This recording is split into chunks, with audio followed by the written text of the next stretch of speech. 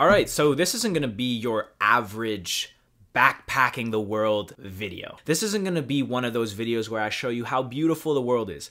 This is gonna be a video where I tell you a story about this absolutely insane outer body experience that happened to me and my best friend while we were backpacking.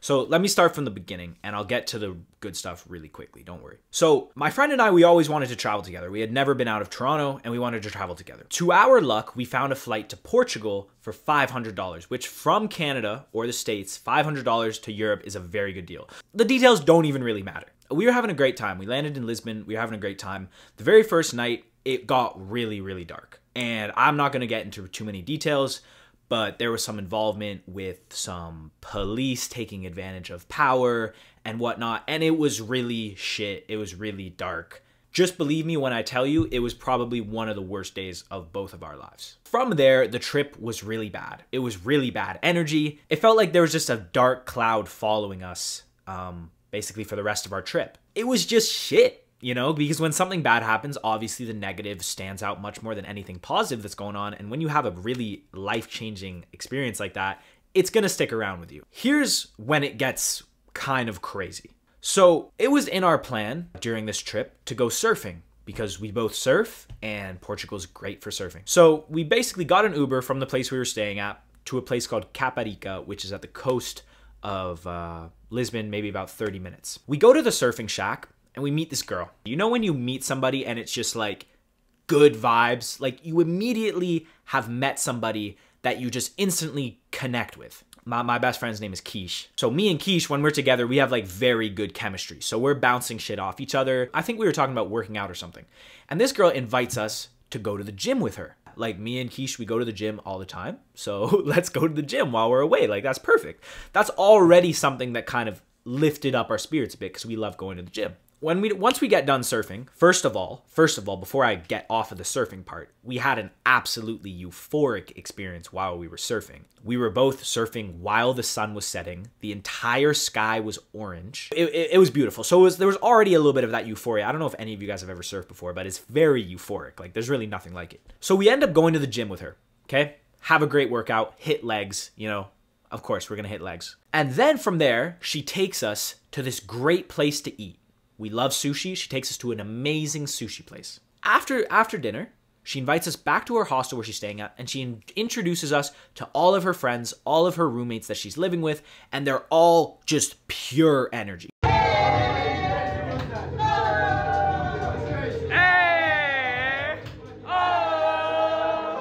Like pure good energy. It was kind of like a hippie house. Everyone was playing instruments, dancing, people giving tattoos in the corner just by hand. There were like five dogs in the house. Like it was like in- insane. Yo, they call me the fucking dog whisperer. Look at, look at, look at these guys. Look at them. I can talk to them. like I had never experienced this shit before. So yeah, she's introduced us to all of her friends. You know, we're having a good time. We're drinking. We're dancing. We're singing.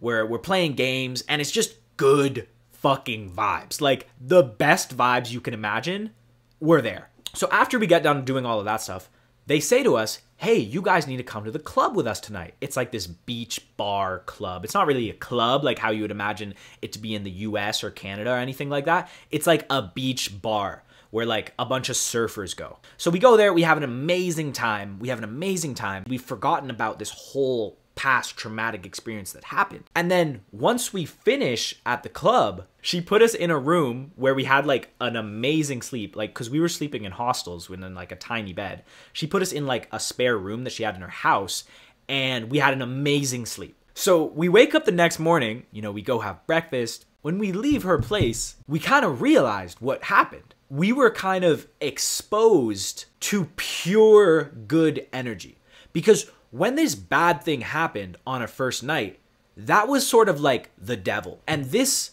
experience, what this girl brought us, it made us see her like an angel. It felt like she was sent by the universe to like relieve our pain, relieve our stress, show us that there's still good in the world because when that experience happened, we were like really down. Like it was really bad. And literally a day and a half later, we have one of the best days of our lives. And we didn't realize that until the day had passed. bro Like, what the fuck? Bro, we had one of the most amazing fucking nights of our life last night, bro. Yo, last night was insane. Like, I don't even know how to describe it. I don't even know if this guy knows how to describe it. It was fucked. Like, yo, life's good, you know what I mean? You know what I'm saying? Like, I don't know if you any of you guys have had an experience where it's pure euphoria. The only the best way I can describe it to you guys is it feels like you're on Molly. Don't do it because drugs are bad, but if you ever have, you know what it's like to just feel so happy. It was like one of those moments which I'd never ever ever experienced before where it feels like just pure euphoria naturally. Like the dopamine, all of the endorphins are going off in your brain and you're just so happy from this experience that just happened. What I really took from it is that people will present themselves in your life in very interesting ways. And a lot of the time, you don't realize why they've been put into your life. Um, because I'm sure all of you guys say everything happens for a reason. Now, if you truly believe everything happens for a reason, you should think that if people come into your life, they've came into your life for a reason. And so me and Keish, we genuinely believe that the universe sent this person as sort of like a healing angel for us and to just show us how great people can be and how great of an experience you can still have. And it made the trip just absolutely insane. Just the fact that we were probably at the lowest point that we've been in a long time. And then that sent us at like the highest that we've ever been. Even though that first event sort of made the trip a disaster and put a lot of strain on the trip, I think it's just really important for you guys to like get out there in the world and experience things because even though there was a bad part of the story and an amazing part of the story, it's like that's just what life is though. And sometimes bad shit is to happen, but you can't do anything about that. Like things are to happen to you.